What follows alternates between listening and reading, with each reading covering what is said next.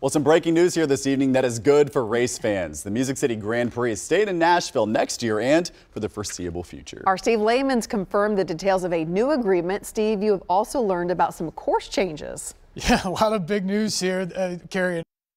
Not just staying in Nashville, it's expanding its presence by moving the Music City Grand Prix from its current slot in early August to the end of the race season in mid-September, where they will now crown the series champion downtown on Lower Broadway in a twist on the current layout of the track.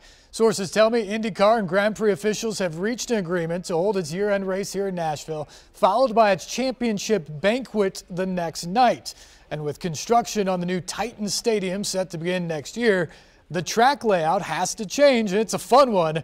Racing across that iconic Korean Veterans Bridge, it stays in the new layout. But sources now tell me the track will be centered downtown, including the use of a portion of Lower Broadway between 1st and 4th Avenues as one of the straightaways.